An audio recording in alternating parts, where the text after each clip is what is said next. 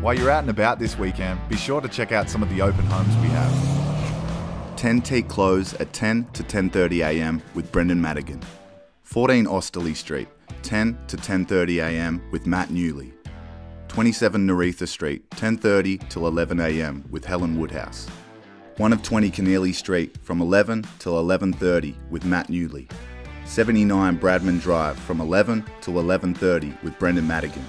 242 and 242A Lake Albert Road, 11 till 11.30 with Ben Patterson. 71 Bradman Drive, 11 till 11.30 with Brendan Madigan. 13 Yenda Avenue, 11.30 till 12am with Helen Woodhouse. And that's it for this week's open homes. If you're out and about, we hope to see you there. Thanks for watching.